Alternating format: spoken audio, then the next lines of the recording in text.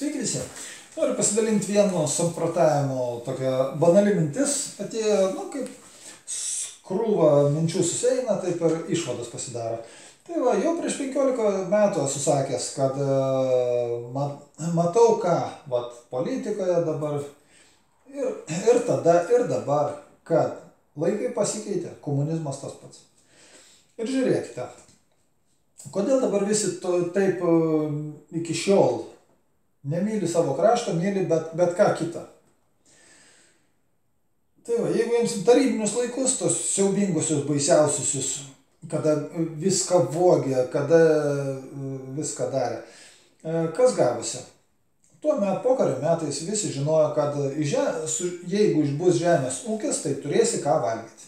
Tikrai investavo ir darė žemės ūkius, sukūrė kolūkius ir tai yra pagirtina. Aišku, kaip bebūtų, tai yra pagal tą laikmetį buvo kurta ir pagal tų laikų nu, nustekę, kaip sakant, tą, kad iš, iš, iš nieko galėjo dar padaryti. Nu ir kas gavosi? Visi supra, pamatė, suprato, kad kuo arčiau valdžios, tuo galima daugiau pavokti, nusukti, apsukti. Tik kadangi tais laikais negalėjo parodyti savo pinigų, tai tiesiog žmonės gyveno geriau kaip sakant, turėjo savo komforto zoną sukurtą ir gyveno geriau. Ir, ir kas gaunasi šiais laikais?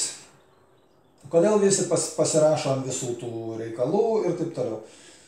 Kodėl atjungus Lietuvą staigiai buvo šokta per ant bet kokią iešmą, ant bet kokio, kaip čia pasakyti, baslio, pagalio ir taip toliau.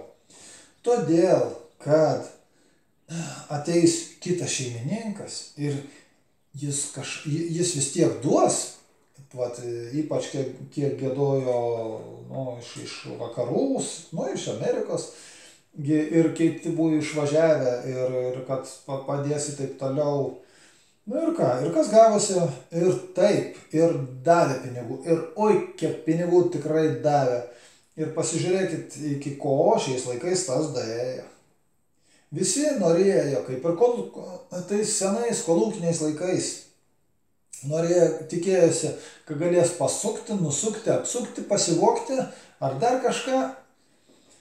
Nu, bet visus, visus, visus, visus, visus apsuko, išdūrė ir paliko. Ir dabar vat klausimas, ką darys su Lietuva. Jeigu manote, kad čia ten Nu, jeigu televizorių žiūri, čia nėra ką kalbėti. Bet visus dabar klausimas, kam palikti, kaip palikti. Kaip sakant, kada kortom pralašinėja, tai tada jau bet, bet kokios kortos tiks, kad mesti, kad tik greičiau pasibaigtų. Nu, panašiai ir čia dabar yra. Tai va, ir visa politika kokia yra. Aiški, nenoriu gilintis ir taip viskas aišku. Kas laukia? Nu, a vienaip pa kitaip laukia per, pertvarkos. Kada jos laukia? A neturiu supratimo. Iš tikrųjų nelabai noriu ir turėti, nes nereikia, nereikia generuoti to, ko nenori. Nes yra toks visatos dėsnis, traukos dėsnis. Ką jūs norite, tą pritraukite, ką mes norime. Ką nenorime, mes irgi pritraukime.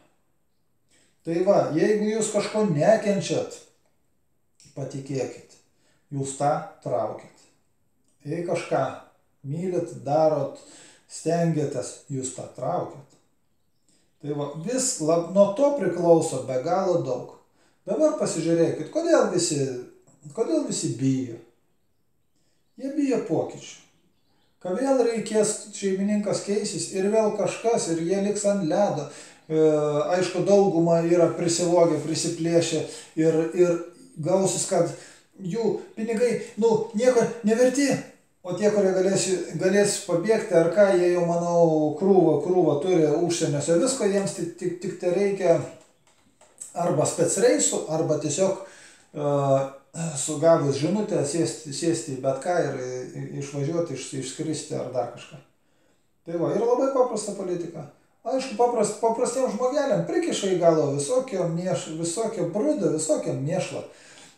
Ir po to jie nežinodami, kas vyksta, kaip vyksta, jie tą, ką girdėjo, varo viską laukan. Tai va, tai va, dėl ko tokia politika? Dėl to, kad visus eilinį kartą apsuko, išdūrė, apgavo ir, pal, ir visi dreba, kai jau toj paliks ant ledo. O nežinomybė tai yra pati didžiausia baime, kokia tik įmanoma. Nes užtenka duoti lašelį ir visa kita žmogaus, pas, pasąmonė, ne tik kad žmogus, bet žmogaus pasąmonė susikūrė. E, buvo psichologinis eksperimentas, mačiau pas rusų įdomus. Man, mane tai yra, mane sudomina. Buvo paskelbta, kad bus socialinis eksperimentas ir tokią tai valandą, kad žmonės susirinktų, bus jie nuvežti. Ir kol stotelėje, nemažai ten tų žmonių gavosi, ar 20, jaunimas pagrindė, ir kol visi laukia, privažiavo mašiną, sustoja staigiai, iššoko, bijau pameluoti, 3 ar 4, liktai, kad 3 iššoko vyrai, apsireng, apsi, su, ne su kaukė, bet, nu, kaip, kaip, kaip kažkas panašaus į maskaradą, į filmą. Vienas piratas ten, kitas dar kažkas.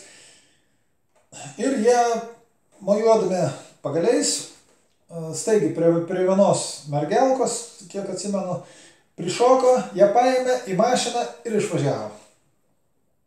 Aišku, visi šokiruoti, visi žiūrėjo, bet, nu, keiščiausia, kad niekas nepabandė, nu, nu buvo ir, nu, ir vyrukų, ir viską, ir niekas nebandė sustabdyti tą dar kažką. Aišku, čia šoko terapija, kaip sakant. Nu ir po to klausinėjo, o, tik neatsimenu, iš kur, nu, vienu žodžiu jau klausinėjo su kamera, atrodo, kas čia buvo, kaip ką, kur, na, nu, sako, pagrobė merginą, gerai, kokia mergina, žinai, kaip ką, nu, mergina daug, daug maž apibūdino, nes, e, nu, merginos, vienu žodžiu, apibūdino. O kas liečia tos virukus, tai ten, o ten tai buvo įdomybių. Ten išgir, išgirdo visi to, ko nesitikėjo, kad ten buvo uh, trys ir, ir vienas su kardu buvo kiti du su pistoletais ir ten dar kažką, nors e, piratas buvo liktai, kad su, su medinė dubinka, nu, ta las, medinė lasda, o kiti du nieko neturėjo. Tai ten vat iš to padarė tokį ten šau, tokį ten katastrofą, visą kitą, ir vienas, ir po to kitas, trečias, liktai ten dar tas buvo, ir tas, ir tas ir buvo sukurtas toks burbulas, kad, kad e, nu, stebėjausi, kad iš tikrųjų, aišku, ir save žiūri, žiūri kaip, kaip, nu, klausia, kas ten buvo, žinai, ir mastai ten tas, tas, tas, bet ką ten daburė, tai ten, oho. Tai va čia lygiai tas pats. E, duoda be galo daug nežinomybės. Nes tada žmonės nežino, jie, aišku, kai tu nesiorientuoji, Tai vad bet koks grūdelis gali tapti, kaip sakant, iš to skyščio, iš to padaryti dinamitą ar trotilą ar dar kažką, nu bent belė kokį vienu žodžiu substanciją, taip sakykime. Tai va, su ta substancija užtenka va daktį įmesti kaip arkštelą ir viskas. Jie, jie tiesiog sproksta. Nuo ko sproksta? Nuo to, kad jūs smegeninė visiškai, nu, nepajėgi priimti informaciją, pirmas dalykas, kad, e, nu, realiai ne tą, ką jie masto, neatitinka to, kas gaunasi. Tai juos veda iš proto. Ir žinoma, jie laiko tą savo komforto zoną, kad tą protą nieks, nieks, nieks, nieks nesujudintų. Ir užtenka belė kokio, belė kokio vėjo bele kokiu eiliniu jau tada makaronų, kad tie žmonės kaip, kaip kondensatoriai, jie sukaupia ir laiko. Ir viskas. Ir, ir tu turi, nu, tu turi vergą aviną, kaip čia pasakyti. Tai va, o visa kita grandininė reakcija. Kaip to išvengti? Turėkit savo protą, pirmiausia atminkit, mes esam žmonės. Čia yra žmonija. Visa ant visos žemės yra žmonija. Ir permastę, kas yra žmogiška, kas yra žmogus, kas yra žmonija, veikite atsakingai. Nes ne žodžiais, ne maldomis, o darbais, kaip sakom, mes tėvynė geriam. Taigi, iki, rašykit komentarus, dėkit nikštukus, jei kam patinka, užsiprenumeruokite. Na ir žinoma, labai laukiu komentarų, jeigu atsiras norinčių. Taigi, iki.